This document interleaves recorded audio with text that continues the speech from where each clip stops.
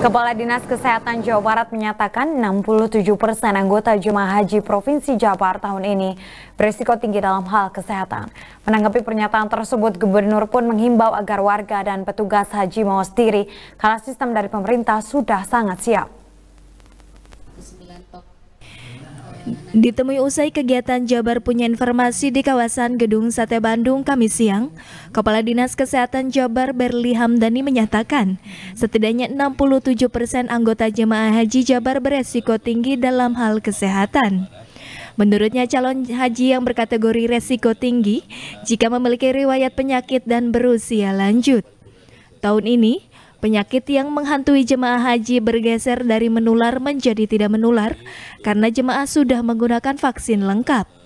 Ya, karena itu semua sudah menggunakan uh, vaksin ya dan rata-rata jemaah haji Indonesia termasuk Jawa Barat juga sudah mendapatkan vaksin yang lengkap termasuk bahkan uh, vaksin flu ya untuk uh, flu ada juga yang mengambil vaksin tipoid ada juga seperti itu. Jadi sekarang bergeser ke penyakit tidak menular, misalnya hipertensi, kemudian juga karena sudah eh, terlalu sepuh, kemudian ada juga karena misalkan faktor kegemukan, ada juga yang misalkan baru ketahuan eh, apa misalkan menderita kanker stadium dan sebagainya.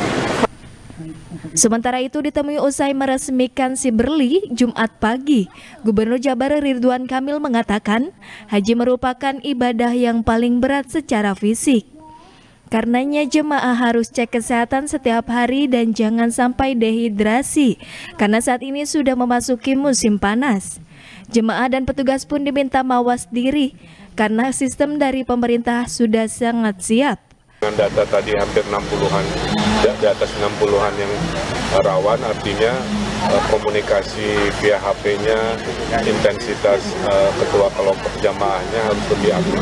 Saya kira uh, ini kan sudah terjadi di tahun-tahun sebelumnya, tinggal semuanya mawas diri aja. Kalau sistem dari pemerintahnya mah sudah sangat siap. Budi Hartati, Bandung TV.